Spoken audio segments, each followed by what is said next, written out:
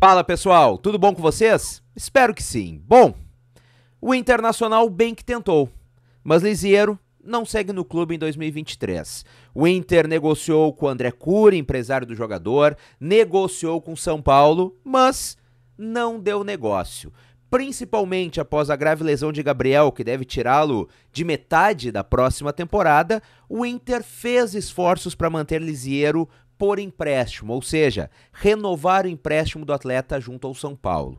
Por outro lado, mesmo que o atleta não conte com grande prestígio da torcida do São Paulo, que inclusive em boa parte comemorou quando ele veio para o Internacional, o São Paulo bateu o pé e só aceitava vender o jogador para o Internacional. O problema é que é um jogador muito caro. 3 milhões de euros, mais de 16 milhões de reais por 50% de Lisieiro. É a mesma coisa que dizer que Liseiro vale mais de 32 milhões de reais. Convenhamos, não vale. Seria um investimento altíssimo para um jogador de nível alto, hoje dada a condição financeira do Internacional. Quem dirá por Lisiero, com todo respeito ao atleta, mas está longe de ser um titular incontestável do Internacional. Então o Inter tentou, o Inter conversou, o Inter negociou, mas acabou não dando certo. O São Paulo se recusou a renovar o empréstimo de Lisiero, que está deixando, está rompendo o vínculo com o Internacional agora no final de 2023, que é quando acaba o seu empréstimo. Mas falando em renovação, o Inter renovou com Bruna Benítez, zagueira das Gurias Coloradas, por mais duas temporadas. A renovação já saiu no bid e Bruna Benítez é uma das principais atletas do time feminino do Internacional e também uma das principais lideranças. Então é uma grande notícia esta renovação de Bruna Benítez com o Inter. Ela que, inclusive, está na seleção bola de prata do futebol feminino. Então, se no masculino não deu renovação com o Lisiero, no feminino nós conseguimos uma grande renovação com Bruna Benítez por ao menos mais duas temporadas. E antes do próximo assunto, deixa eu te convidar. Se tu gosta desse tipo de conteúdo, gosta de estar sempre muito bem informado sobre o internacional, sobre Copa do Mundo, vem muito conteúdo por aí. Clica aqui embaixo em inscrever-se e ativa as notificações clicando no sininho, que ajuda, ó, muito com o crescimento do canal e, consequentemente, com prosseguimento com a continuidade desse trabalho. Inscrever-se, sininho e é tudo nosso.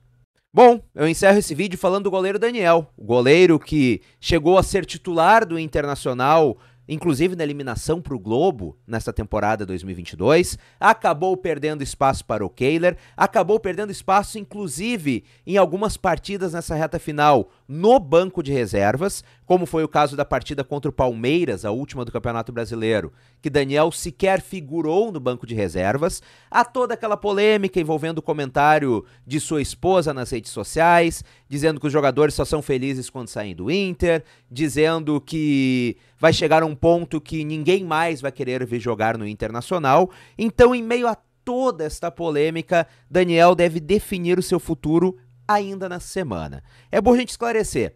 O goleiro tem contrato com o Internacional até o final da temporada 2023, ou seja, até o final do próximo ano. Mas como não vem sendo aproveitado, como em alguns jogos nessa reta final de Campeonato Brasileiro principalmente, não figurou nem no banco de reservas, não esteve nem entre os relacionados, então o goleiro vai se reunir com seu staff e a diretoria do Internacional, a princípio ainda nesta semana, para escutar quais planos o Inter tem para ele na próxima temporada. Afinal, ele será um reserva imediato ou vai seguir sendo relacionado alguns jogos sim, outros não? Daniel quer jogar.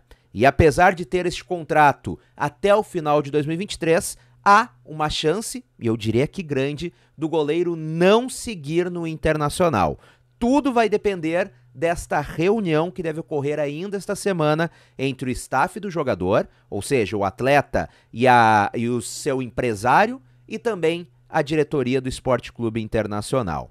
E assim eu te convido para comentar aqui embaixo. Tu acha que o Inter deve manter Daniel para a próxima temporada ou deve ir em busca de outro goleiro? Comenta aqui embaixo e não esquece, tu não é inscrito no canal, clica aqui embaixo em inscrever-se e ativa as notificações no sininho. Um grande abraço, saudações coloradas, até a próxima e tchau, tchau.